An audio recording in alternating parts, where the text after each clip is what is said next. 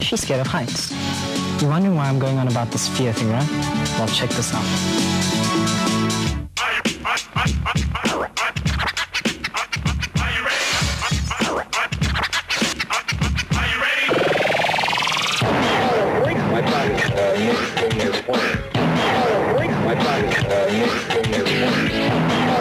My body uh, I'm at the CityROCK Climbing Wall in Cape Town, and I'm just about to join a climbing class to find out exactly what happens at a climbing wall.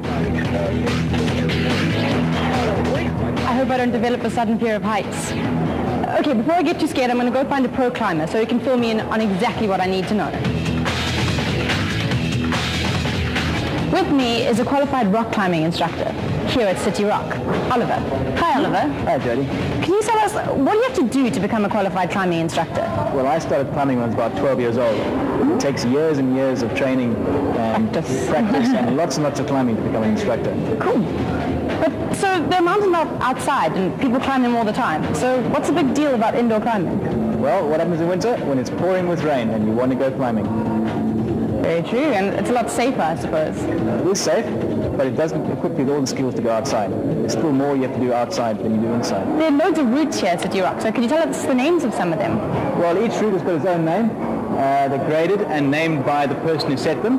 We've got some crazy names like Visions of Cosmic Doom, uh, the Under King route, um, Crimp Me If You Can, And in terms of loads of like climbing jargon, there are loads of words that lots of us don't understand. Can you tell us the names of them and more importantly what they mean?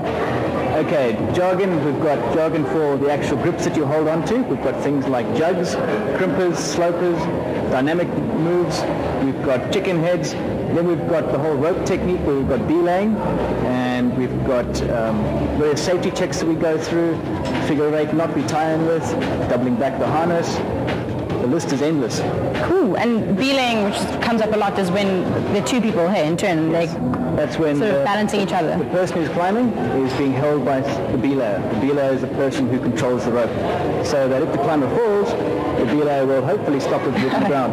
Well, most importantly, before we start our lesson, could you please get me all rigged up so I don't fall off the wall? Not a problem. Let's get the gear right now. Cool, let's go.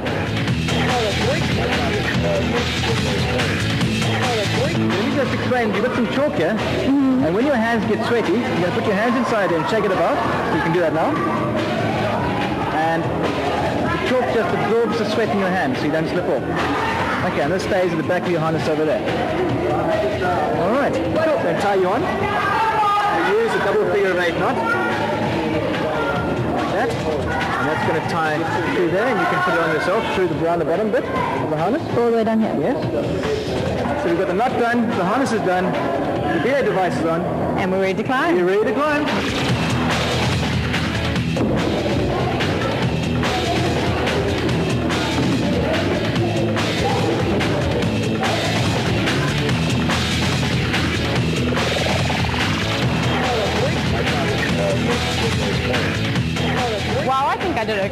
Even though I'm a rookie. Let's see.